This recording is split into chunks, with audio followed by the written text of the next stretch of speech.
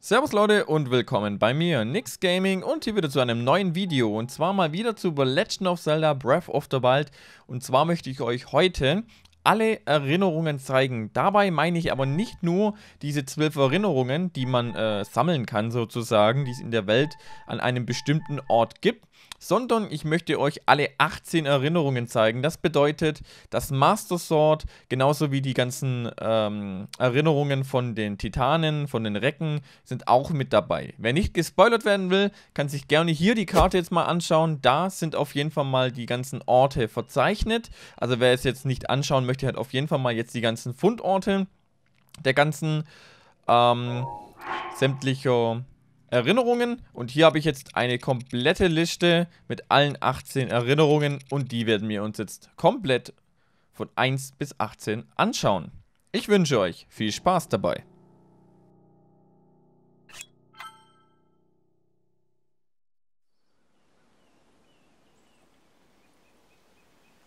Held von Hyrule, vom heiligen Bannschwert erkoren.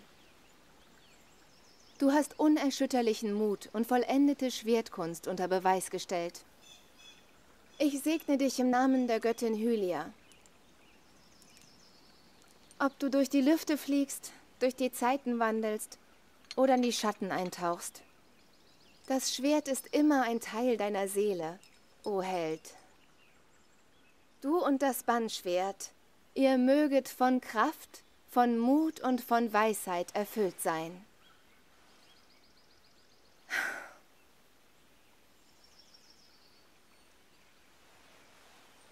Oh Bannschwert, das unvorstellbare Zeiten über Mann, oh Mann. Geht's noch dramatischer? in der Hand des Helden. Was redest du da? Der edle Ritter ist jetzt ihr. Leibwächter. Diese alte Zeremonie dafür nachzuäffen war doch deine eigene Der Held die Glanzidee. Meere überquert oder eine Verbindung mit der Naja, meine Meinung zu dem Burschen kennt ihr. Und die Prinzessin sieht auch nicht gerade begeistert aus. Oder? Du und der Bei ihr ist es kein Wunder. Er hat sein Schicksal erfüllt, sie dagegen konnte es nie. Tja, er erinnert sie stets an ihr Scheitern.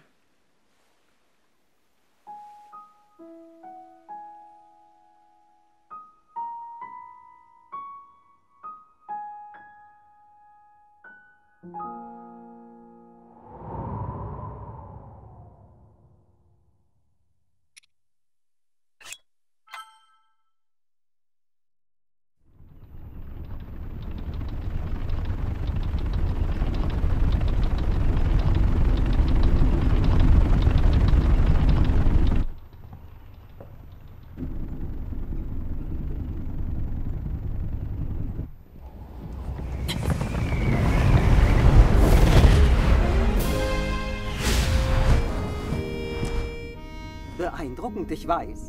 Dieses Kunststück würdest du in 100 Jahren nicht hinkriegen. Ich erzeuge einen Aufwind und schieße damit hoch empor in die Lüfte. Meine Technik ist ein wahres Wunderwerk. Selbst die Orni bewundern mich dafür. Mit dieser Kunst sind wir unschlagbar. Sie wird uns zweifellos einen großen Vorteil im Kampf gegen die Verheerung Ganon verleihen. Hinzu kommt, ich bin der unangefochten beste Bogenschütze unseres Volkes. Und somit ist es ja wohl ganz offensichtlich, dass ich, Revali, der Schlüssel im Kampf gegen die Verheerung Ganon bin. Aber stattdessen haben sie mir aufgetragen, dich zu beschützen. Und das einzig und allein, weil du dieses alte Schwert mit dir herumträgst. Ha, das ist der Gipfel der Dummheit.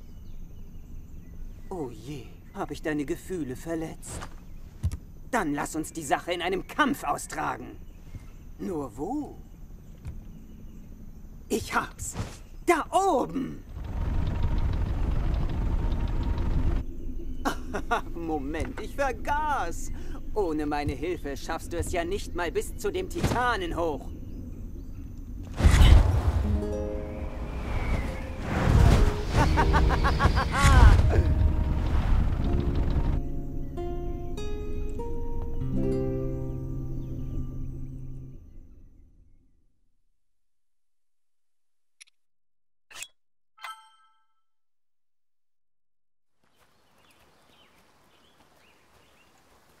Als nächstes gehen wir nach Goronia.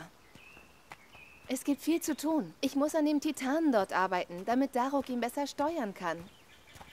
Auch wenn wir zahlreiche Tests durchgeführt haben, ist es trotzdem eine Gleichung mit vielen Unbekannten. Aber fest steht, diese Relikte wurden von unseren Vorfahren erschaffen.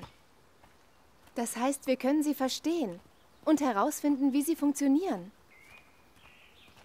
Du wirst schon sehen. Wir werden die Verheerung, wir werden Ganon damit besiegen. Dafür sorge ich.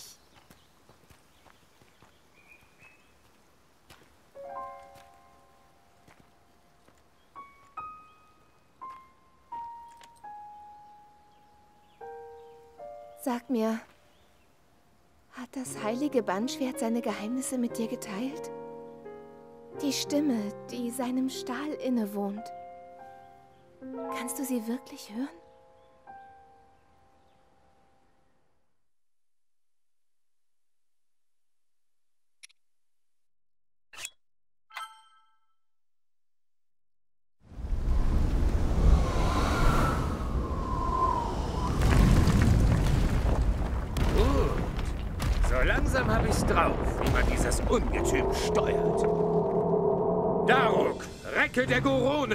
So einem Titel hat man einen Ruf zu verlieren. Die anderen drei sind echt gut. Um mitzuhalten, muss ich diesen Titanen wie im Schlaf beherrschen. Ein prächtiger Anblick, oder etwa nicht? Die zackigen Felsen auf diesem Bergkamm. Wunderbar knusprig sind die. Ich habe keine Ahnung, was es mit dieser Verheerung Ganon auf sich hat. Aber dieses schöne Land werden wir uns nicht kampflos abnehmen lassen. Oder, Bruder? Ach ja, du wurdest als Leibwächter der Prinzessin ausgewählt, oder? Und das vom König selbst. Musst ja mächtig Eindruck gemacht haben. Glückwunsch. Aber diese Prinzessin, besonders entspannt ist die ja nicht. Etwas biestig sogar. Besonders in deiner Nähe. Hm? Was ist...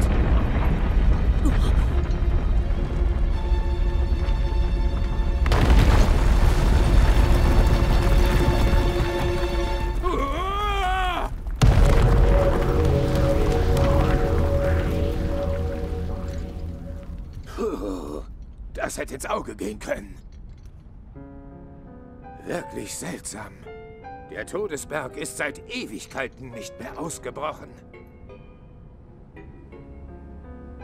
Und jetzt rumpelt die Erde hier so stark, dass einem Felsen um die Ohren fliegen. Das ist nicht gut.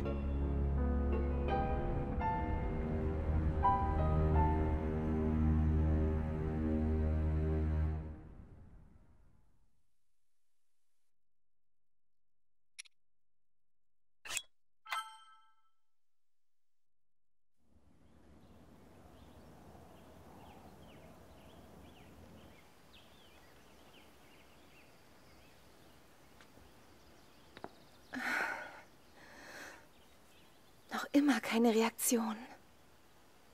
Diese Ruinen müssen für den Helden bestimmt sein, den das Bannschwert auserwählt hat. Daran besteht kein Zweifel. Aber wie man sie aktiviert, wissen wir nicht. Was muss man tun? Wie gelangt man hinein?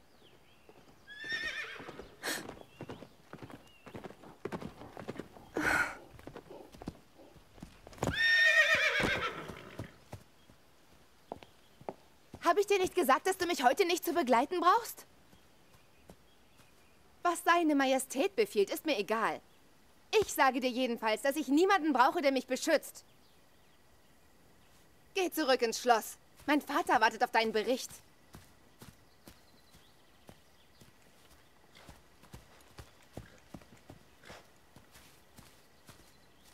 Oh. Jetzt lass mich endlich in Ruhe!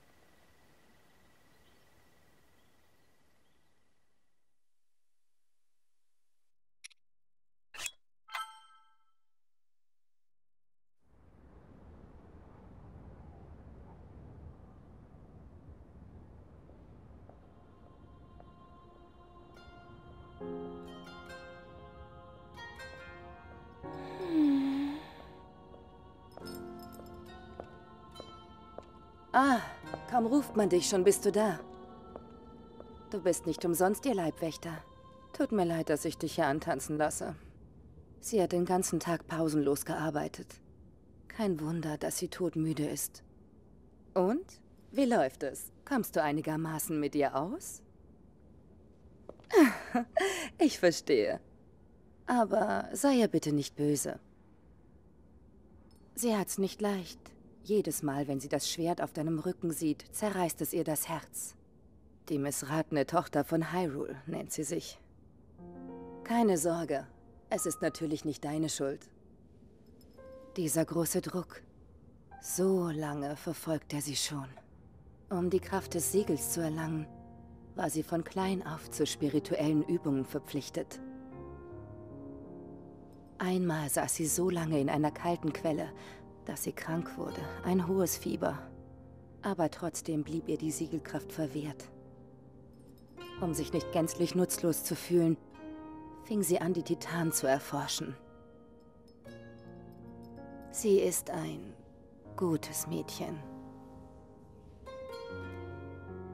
Und deshalb müssen wir ihr helfen. Besonders du. Es ist frisch geworden.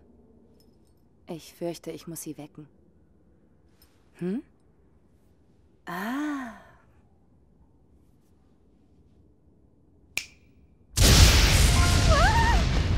Oh, Obosa, was war das? Dieser Krach.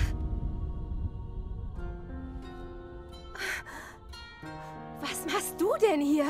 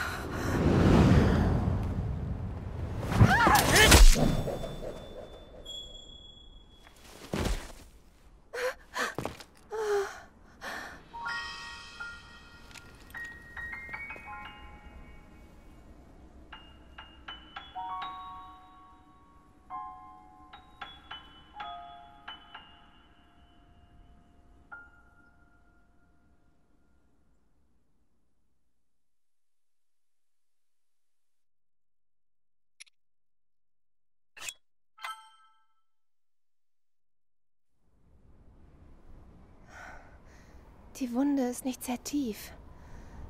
Aber du musst trotzdem vorsichtiger sein.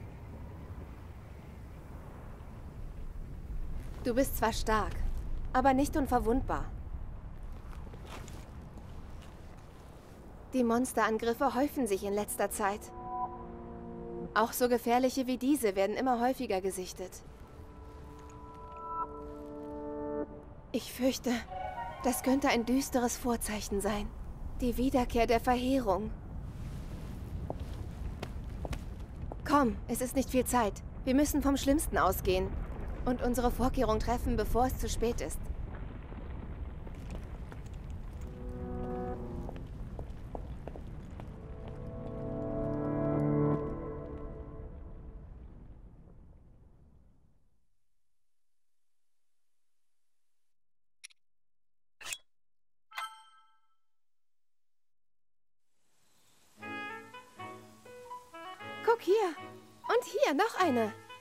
Die Blumen von Hyrule sind nicht nur schön anzusehen.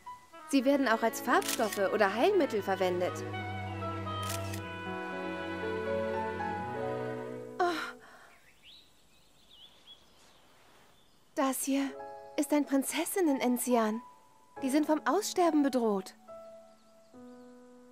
Man wollte sie retten und hat versucht, sie in Gewächshäusern zu züchten. Aber sie gedeihen nur in der Natur.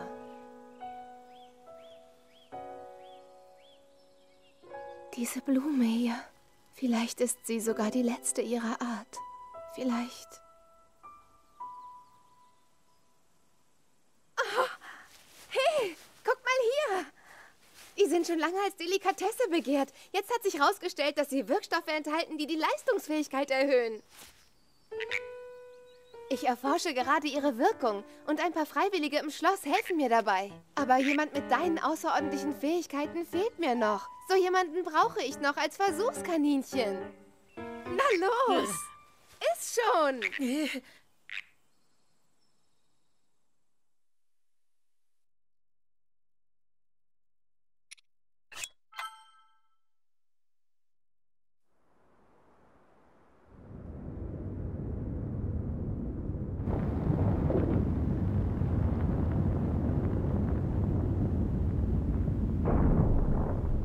Weißt du noch, als wir uns zum ersten Mal begegnet sind? Du warst wirklich ein ungestümes Kind. Andauernd hattest du irgendeine Schramme. Und jedes Mal habe ich dich geheilt, genau wie jetzt. Hylianer werden so schnell erwachsen. Im Handumdrehen warst du viel größer als ich. Ich war... Ich war so froh, dass ich deine Wunden heilen konnte. Ich war glücklich.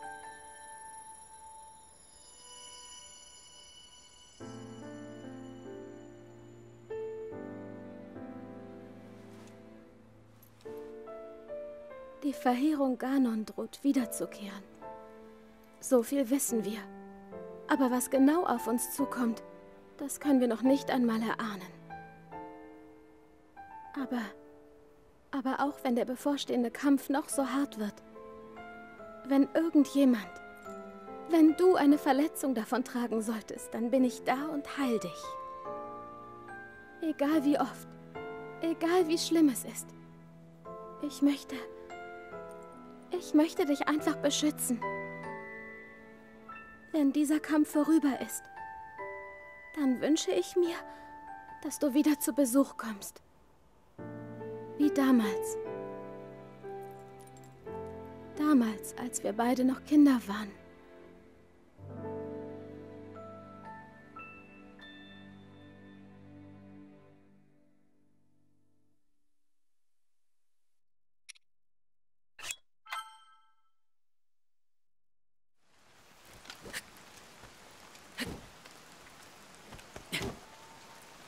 Sieht nicht aus, als würde es bald aufhören. Wie dein Vater hast du den Weg des Ritters gewählt. Auch wenn die Ausbildung hart war, du hast nicht aufgegeben. Und letztendlich hast du dich als würdig erwiesen, das Bannschwert zu führen. Ich freue mich von ganzem Herzen für dich. Aber... Aber... Was, wenn... wenn du mit dem Schwert nicht hättest umgehen können? Wenn trotzdem alle gesagt hätten, Du musst in die Fußstapfen deiner Vorfahren treten. Du musst ein Ritter werden, um jeden Preis. Wenn sie einfach nicht damit aufgehört hätten. Was? Was hättest du dann gemacht?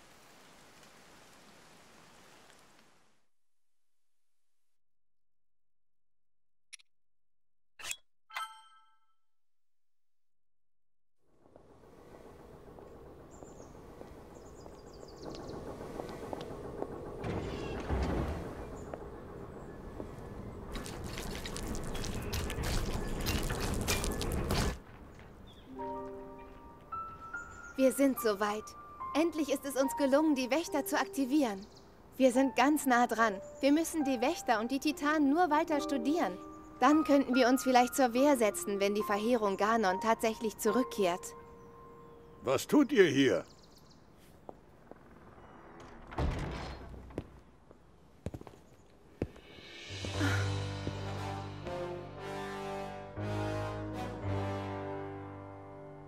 Haben uns das Experiment mit den Wächtern angesehen. Wenn wir diese antike Technologie beherrschen, sind wir der Verheerung Ganon nicht hilflos ausgeliefert. In der Tat. Die Erforschung dieser Relikte ist von höchster Wichtigkeit für unser Königreich. Aber als Prinzessin von Hyrule hast du weit bedeutendere Aufgaben zu erfüllen. So geht das nicht weiter. Wie lange wirst du noch vor deiner Verantwortung davonlaufen? Das tue ich doch gar nicht. Erst vor wenigen Tagen habe ich mich in der Quelle des Mutes gereinigt, dort gebetet und... Vergeude deine Zeit nicht mit diesen Relikten. Von jetzt an gibt es für dich nur deine Übungen und sonst gar nichts. Oder glaubst du, die Macht, die Verheerung zu versiegeln, fliegt dir einfach so im Schlaf zu? Natürlich nicht. Aber ich gebe ja schon mein Bestes. Das alles bringt nur nichts. Bei der Erforschung der Relikte könnte ich wenigstens... Spar dir deine Ausflüchte. Von heute an ist Schluss damit. Ich verbiete jede weitere Beschäftigung mit diesen Relikten. Widme dich deiner Ausbildung an den Quellen. Weißt du, wie man am Hof über dich redet? Wie man dich hinter vorgehaltener Hand nennt? Missratenes Prinzesschen heißt du da. Oder Prinzessin machtlos.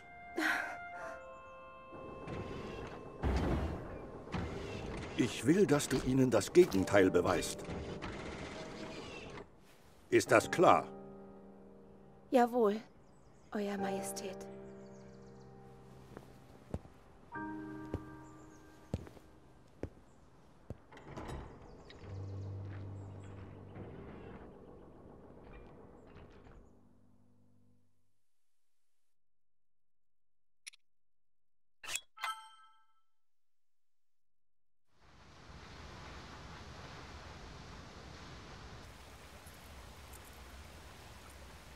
Prinzessin ist auserwählt. Sie besitzt die Kraft, die Verheerung Ganon zu versiegeln. Es ist eine heilige Kraft, die durch Gebete erweckt wird. Das wurde mir immer wieder gesagt. Und trotzdem, meine Mutter, sie, sie konnte diese Macht spüren. Meine Großmutter konnte sie hören. Die Stimmen der Geister. Ich hingegen spüre und höre nichts. Vater hat mir oft vorgeworfen, dass es meine Schuld ist, weil ich zu viel Zeit mit Forschen verbringe. Aber seit ich denken kann, verbringe ich jeden Tag Stunden mit Gebeten. Ich besuche heilige Orte wie diesen hier, einen nach dem anderen. Und doch hat sich die heilige Kraft nie in mir gezeigt. Bitte sag mir, was ist es, das mir fehlt?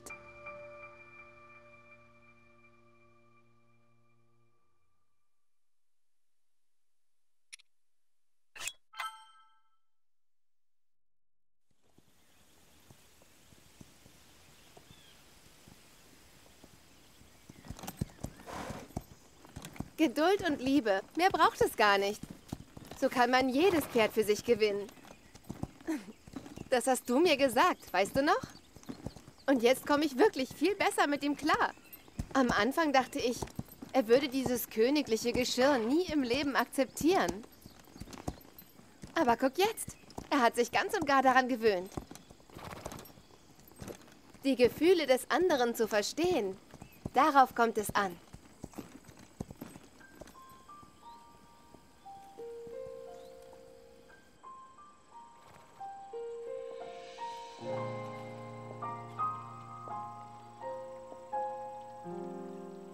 Dort hinten erhebt sich der Berg Ranel. Nell ist ein alter Name für Nairo, die Göttin der Weisheit. All jene unter 17 Jahren sind noch nicht weise genug, den heiligen Berg zu betreten. Mit diesem Brauch wird die Göttin Nairo geehrt. Ob in der Quelle der Kraft oder der Quelle des Mutes, nirgendwo sind meine Fähigkeiten erwacht. Vielleicht ist es hier anders. Die Quelle der Weisheit ist mächtig. Sie enthält Nairos Weisheit, also vielleicht. Ich weiß, dass ich mich damit an Strohhalme klammere. Aber ich muss jede Möglichkeit nutzen, die sich mir bietet. Und sei sie auch noch so klein. Morgen ist mein 17. Geburtstag. Ich gebe nicht auf. Ich werde zu diesem Berg gehen.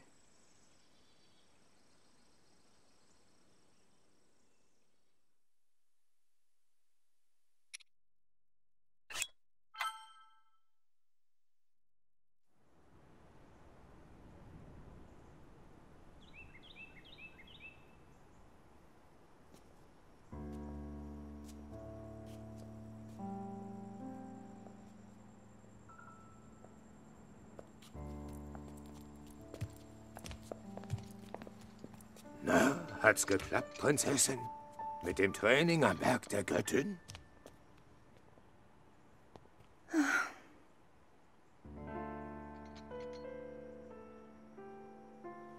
Sie hat sich nicht gezeigt, oder? Die Siegelkraft. Es tut mir leid. Ach, Zelda. Du hast dein Bestes gegeben. Das muss reichen, oder etwa nicht? Und was bedeutet denn schon dieser Berg? Vielleicht erweckt am Ende etwas völlig anderes die Kraft des Siegels. Ich danke dir, Urbosa. Prinzessin.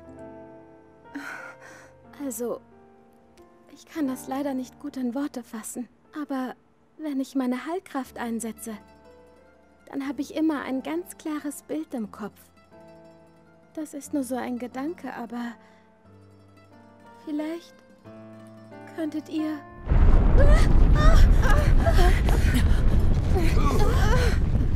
Es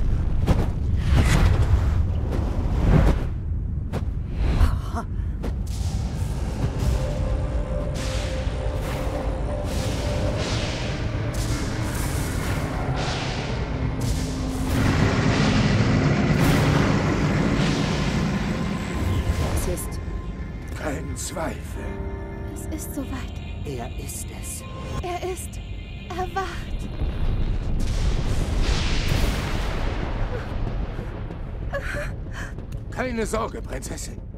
Wir finden auch so einen Weg, ihn aufzuhalten. Los, Leute! Alle zu ihren Titanen! Macht euch zum Angriff bereit! Sobald Link sich im Kampf mit Ganon befindet, feuern wir alle im gleichen Moment. Bruder, ab mit dir nach Schloss Hyrule. Du kannst dich auf uns verlassen. Jetzt geh und verpasst Ganon eine Abreibung! Komm, Zelda. Du musst dich in Sicherheit bringen. Nein, ich werde auch mit euch gehen. Vielleicht bin ich keine große Hilfe, aber bitte, bitte lasst mich mit euch kommen.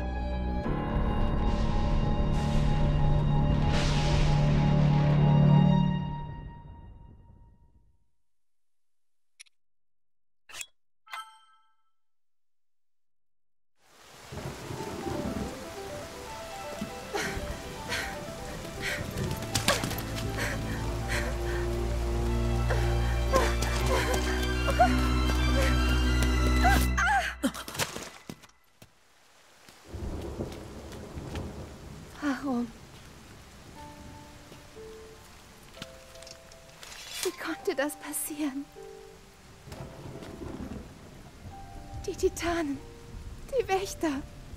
Warum greifen sie uns an? Oh nein. Ganon hat sie unter seine Kontrolle gebracht. Daro, Rivali, Mifa und Urbosa. Sie waren in den Titanen. Es ist alles meine Schuld. Ich konnte die Macht des Siegels nicht erwecken. Und jetzt hat Ganon uns die Relikte gestohlen, die uns vor ihm schützen sollten. Ich... alles, was ich getan habe, es war alles vergebens. Ich konnte das alles nicht verhindern. Mein Volk, meine Freunde und mein Vater auch. Ich habe sie im Stich gelassen. Und jetzt sind alle tot.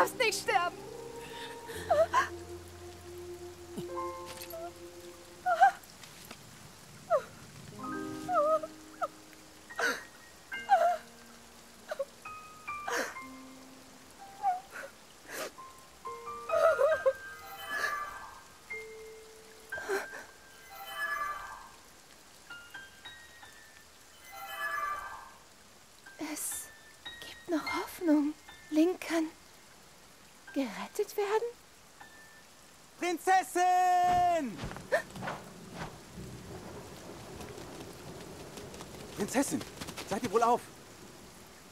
Ich habe einen wichtigen Auftrag für euch. Bringt diesen Mann so schnell wie möglich zum Schrein des Lebens.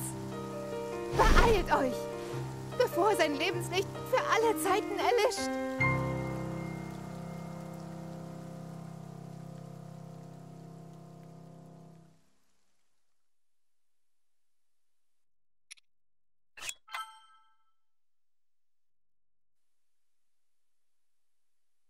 An diesem Ort sollst du ruhen und den Tag erwarten, an dem dein Gebieter zurückkehren wird.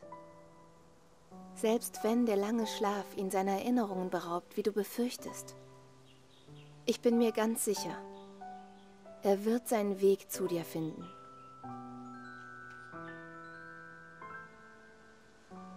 Hohe Priesterin von Hyrule, was hast du nun vor?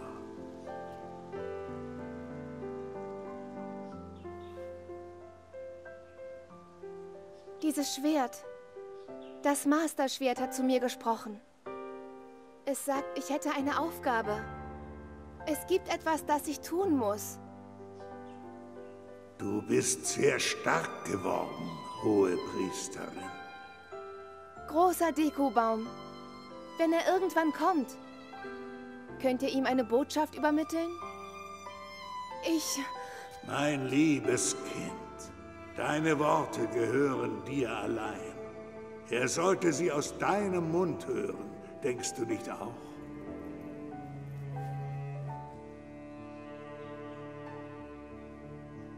Ja.